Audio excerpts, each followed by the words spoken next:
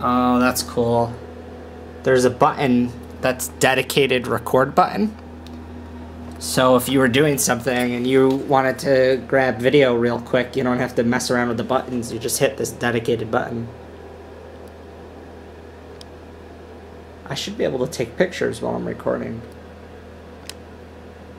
I don't know how though.